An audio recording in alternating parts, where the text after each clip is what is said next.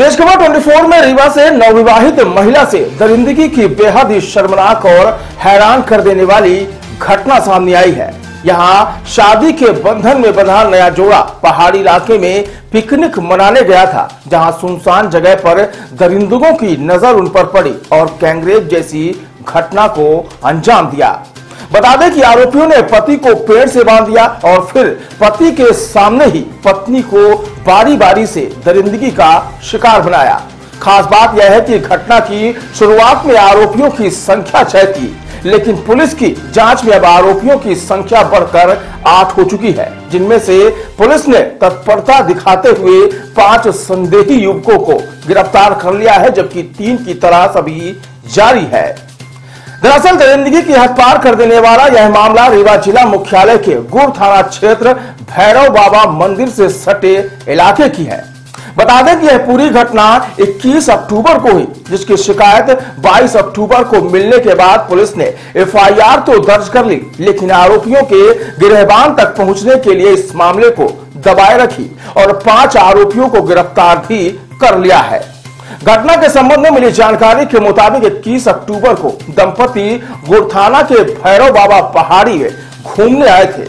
वे मंदिर के थोड़ा आगे पहाड़ी में नाले के पास बैठे थे। इस दौरान कुछ दूरी पर पार्टी कर रहे आधा दर्जन से अधिक दरिंदे वहाँ पहुँच गए।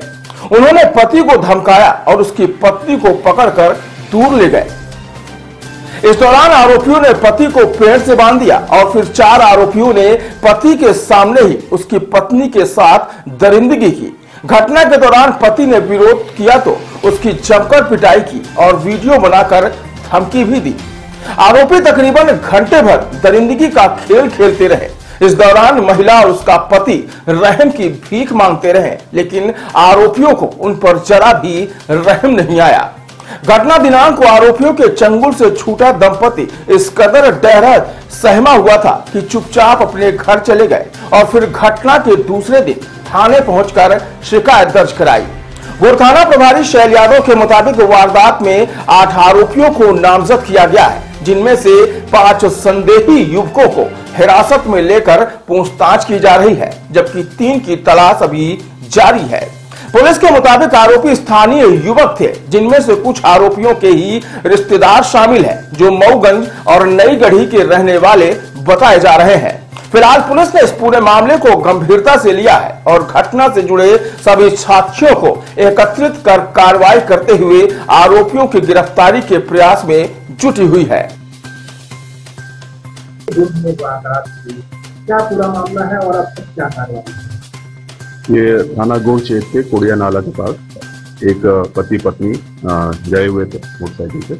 और वहाँ पे पूर्व से ही कुछ लड़के थे जो नहा रहे थे, पार्टी कर रहे थे, वहाँ पे खाना वाना बना के। लोग और ये लोग पति पत्नी अलग कहीं बैठ गए थे। इसके उपरांत वो जो लड़के थे, वो उनके पास आए हैं। उसमें पति के साथ मारपीट करके उसको अलग ले गए हैं। और जो पत्नी है, उसके साथ फिर गलत काम किया है। और ऐसा पीड़िता ने बताया कि उनका वीडियो भी बना के और उसको ये भी धमकी दी गई कि इसको वायरल किया जाएगा। और जिसके आधार पे 21 तारीख को ये घटना हुई है, करीब दो बजे की घटना होगी। और डर की वजह से ये पीड़ित परिवार नहीं आया था इक्कीस तारीख को। 22 तारीख को ये थाने पर उपस्थित हुए थे और जिसमें करीब सात बजे हमने फिर इसमें पूरी इनसे पूछताछ और कथन जो प्रोसेस होता है, उसके उपरांत मेडिकल के उपरांत हमने सात बजे एफ़ आई बाईस तारीख को कर दिया था।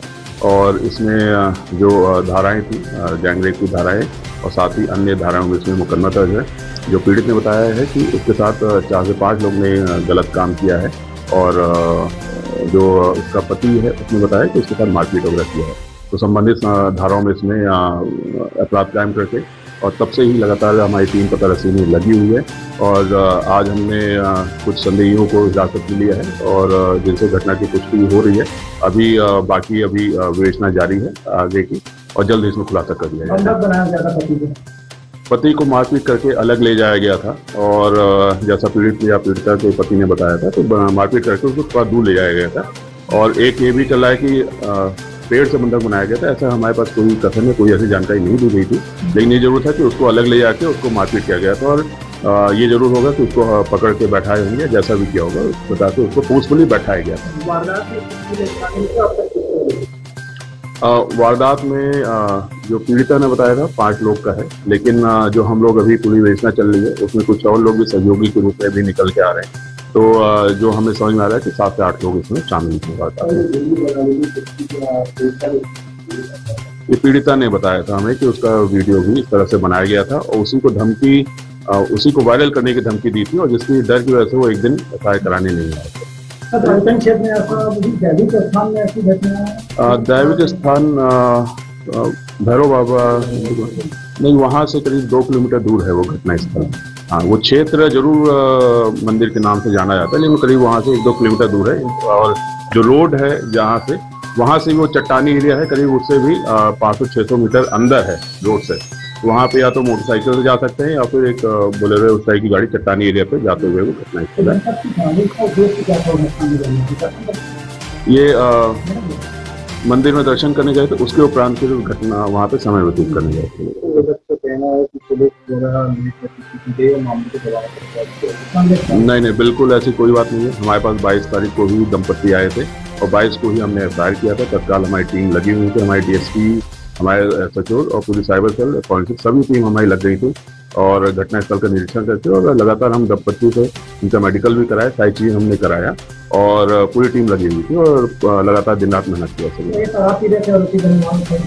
हाँ वो शराब की बोतलें बियर की बोतलें देसी शराब की बोतल और कुछ खाने वाने का लिट्टी चोखा उसका बनाने का चूल्हा और ये सारी चीज़ वहाँ थी और कुछ आ, मीट वगैरह का भी वहाँ पे चट्टान पे कुछ वो सब मिला। ये एक जो ग्रुप था, ये मिला जुला है कुछ स्थानीय समझ में आ रहे हैं और कुछ जो है बाहर के, लेकिन सभी ज़्यादातर रीवा ज़िले के क्षेत्र के रहने।